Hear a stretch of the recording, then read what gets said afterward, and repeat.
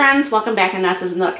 So today I'm going to try something I have never tried before. Now I have pressed hamburger patties, which I'll also be doing in another video.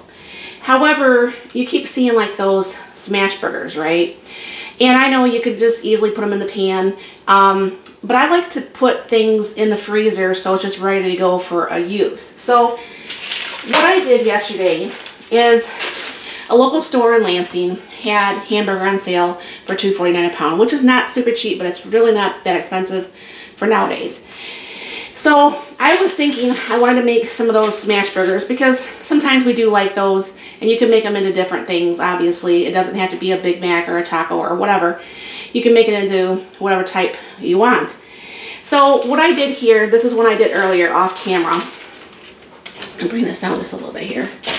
And I just put parchment paper on both sides and I just pressed it in this or tortilla press. So what I'm going to do is I'm going to bring you down here. I'm going to show you what I did. I have my hamburger sitting over here and I did about a ball about what would be, you know, something like this that would fit in the palm of your hand, okay? Kind of squish that down a little bit. Put that other parchment paper over the top, kind of re-squish it down a little bit. And then I'm going to go ahead and take my tortilla press here and squish it. So all these should be all the same thickness on all these that I'm going to make. Now Mark made me up a few of these parchment papers. I don't know for sure what happened to my, I just probably out of them, those pre-cut ones I get at the dollar store. So I think as long as you use the same amount of meat and you do about the same, I think you're always going to get the same exact amount. And this is this is pretty easy for the most part. And I mean that's a little bit off, but you know it will shrink up when it cooks. But I mean this is pretty easy.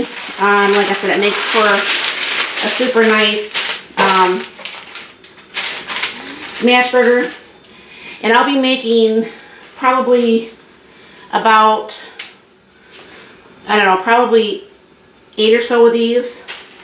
And that way um, we can just pull these out of the freezer as we want to use them and use them in smash burgers. Now, so tonight um, we'll use some of these as smash burgers so you can see See how nice that turns out?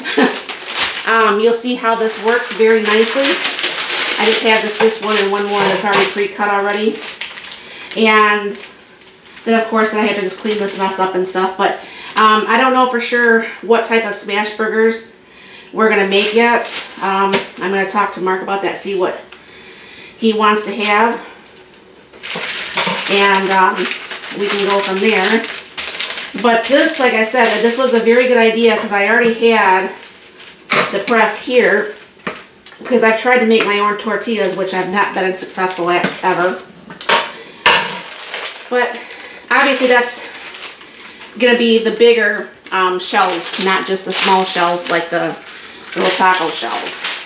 And this one's not big enough. So anyways, what you're going to see later is I'm going to go ahead and post this video and then what you're going to go ahead and see later is another uh, video using these. And then like I said, what's going to be left, we're going to go ahead and put in the freezer. Uh, we'll put them like in a freezer bag so they don't get uh, freezer burn or anything.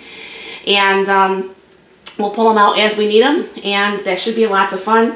You'll have to let me know in the comments down below. Have you ever made your smash burgers? If you have made your smash burgers, have you made them any differently than like this? Um, what are your favorite types of smash burgers? So maybe if I see that now before I actually uh, make dinner, um, what do you serve yours with? I mean, is it just usually french fries? Is it what kind of uh, side?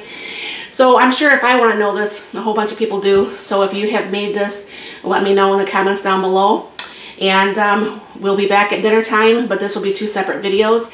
And thank you very much for stopping by. I hope you have a very blessed and wonderful day.